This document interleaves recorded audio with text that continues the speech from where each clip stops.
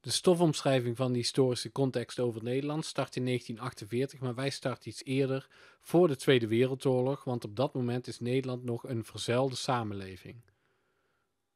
Dat wordt ook wel verzuiling genoemd en dat betekent dat de samenleving wordt ingedeeld in verschillende groepen mensen en dat die verdeling plaatsvindt op grond van verschillen in levens- en wereldbeschouwing.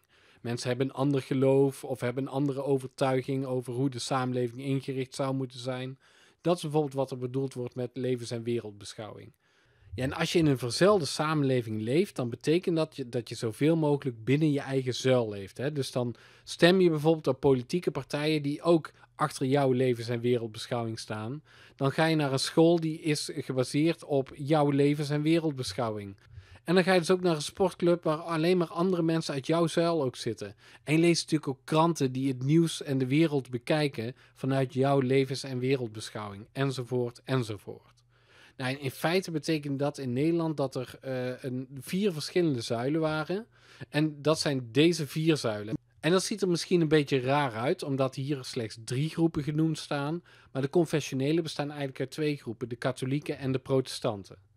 Nou, om even bij die confessionelen te beginnen. Die katholieken en die protestanten die wilden allebei een samenleving op basis van christelijke normen en waarden. De socialisten die hadden als doel uh, meer gelijkheid en gelijkwaardigheid voor de arbeidersklasse. En de liberalen die vonden dat het individu zoveel mogelijk moest worden vrijgelaten, zodat het zich zo goed mogelijk kon ontplooien. Nou, die confessionelen die waren het sterkst verzeld. Die hadden eigen politieke partijen, die hadden eigen omroepen, die hadden eigen kranten, maar ook eigen scholen en eigen verenigingen. Dus als je bijvoorbeeld gaat voetballen, dan zie je nog heel vaak, zeker hier in het zuiden ook, dat je uh, speelt bij of uh, moet spelen tegen de RKSV, de Rooms-Katholieke Sportvereniging bijvoorbeeld.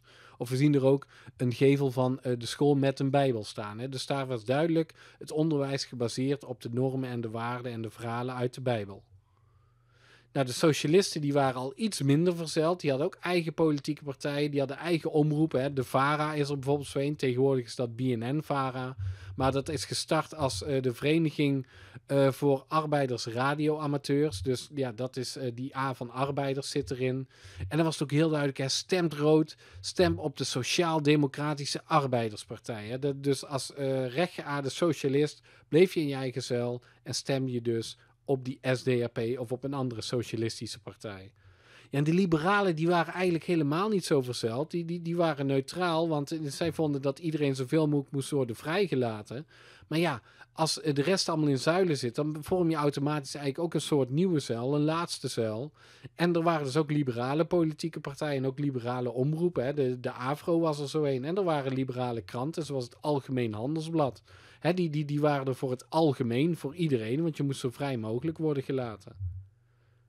Nou, zo was de Nederlandse samenleving ingericht voor de Tweede Wereldoorlog. En de Duitse bezetting van Nederland tijdens die Tweede Wereldoorlog, die zorgt voor twee dingen. Aan de ene kant uh, willen de Duitsers uh, ook Nederland nazificeren. En dat betekent dat veel verzelde instellingen worden verboden of op een lager pitje worden gezet. Hè. Zo worden bijvoorbeeld kranten verboden, politieke partijen hadden niks meer te zeggen en dergelijke. Nou, en daarnaast zag je ook dat door die Duitse bezetting er een sterk gevoel van nationale eenheid ontstond onder de Nederlandse bevolking. Hé, hey, jij zit misschien wel in die katholieke zuil en ik in die socialistische zuil en die weer in die protestantse zuil en jij hebt liberale ideeën. Maar we zijn allemaal Nederlanders en we worden allemaal bezet door die Duitsers. Hè? De Duitsers, dat zijn onze vijanden. Dus dat zorgde voor een sterk gevoel van nationale eenheid. En onder een heel progressief, dus vooruitstrevend deel van de Nederlandse bevolking, was er dan ook de hoop dat de verzuiling na de Tweede Wereldoorlog misschien wel definitief doorbroken zou kunnen worden. Dus in 1945, het einde van de Tweede Wereldoorlog, wordt er ook de Nederlandse Volksbeweging opgericht. En die had eigenlijk tot doel om mensen uit alle zuilen bij elkaar te zetten om uh, die verzuiling te doorbreken. Nou, die beweging die mislukte, dat lukte niet echt. Dus een jaar later werd bijvoorbeeld ook al de Partij van de Arbeid opgericht. Hè, die kennen we nu nog steeds. Uh, eerst had je de Sociaal-Democratische Arbeiderspartij, die we op de vorige dia ook al zagen, met die stemt rood poster. Nou, die was veel te socialistisch. Dus socialisten hoopten door middel van uh, de partij een nieuwe naam te geven en een meer algemener te maken. Um, wat zie je ook op die poster heel klein nog staan. Het gaat voor het gehele volk, hè, niet alleen meer voor de socialisten hoopte zij dat uh, ook bijvoorbeeld confessionele aan wilden sluiten bij die Partij van de Arbeid. En misschien ook wel links-liberalen, die ook wel wat zagen in die sociaal-democratische ideeën. Nou, dus eh, dat was zo'n zo'n teken van dat die verzuiling misschien wel doorbroken kon worden. Maar uiteindelijk mislukt die doorbraak. Want die confessionele leiders, zeker de katholieke leiders, die waarschuwen voor het socialisme. Dat vinden ze gevaarlijk. Hè? Dat past niet goed bij de christelijke ideeën. Dus de katholieke volkspartij wordt ook meteen opgericht als een soort reactie op die oprichting van die Partij van de Arbeid. En dan zie je al meteen 1946 zijn er verkiezingen en heel Zuid-Nederland en een heel groot stuk van Oost-Nederland kiest dus voor die KVP. En die gaan dus niet mee in die brede volkspartij. En daarnaast zie je ook dat de linksliberalen al heel snel uit die Partij van de Arbeid stappen. Want vinden het toch ook iets te socialistisch. En die richten dan hun eigen Volkspartij voor Vrijheid en Democratie op. En dat is de VVD die we tegenwoordig ook nog steeds kennen.